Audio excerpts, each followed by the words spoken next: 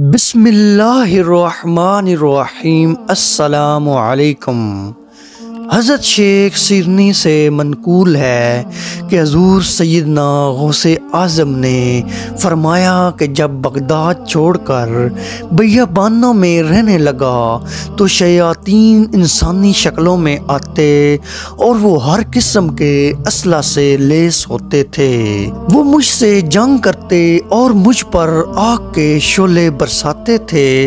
मैंने अपने दिल में उनसे लड़ने के लिए हौसला हौसला हिम्मत और जुर्रत पाई और हर मैदान में साबित कदमी का मुजाहरा किया।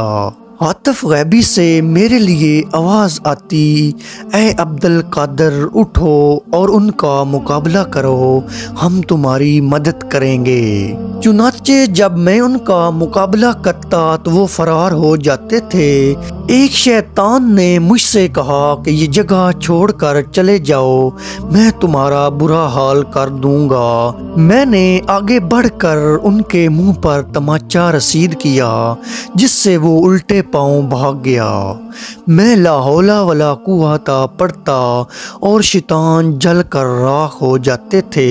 हजूर सैदना गौसे आज़म रहमत फरमाते हैं कि एक दिन नहायत बदसूरत शख्स मेरे पास आया, और कहने लगा कि मैं इबलीस हूँ। आपने मुझे और मेरे ग्रोह को तंग कर दिया है मैंने उसे जवाब दिया, तू यहाँ से दूर हो जा।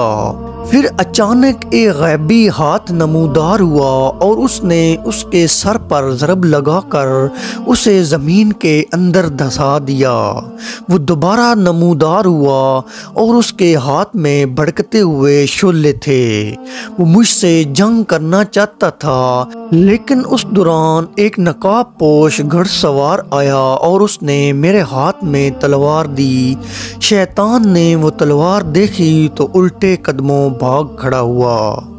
वसलाम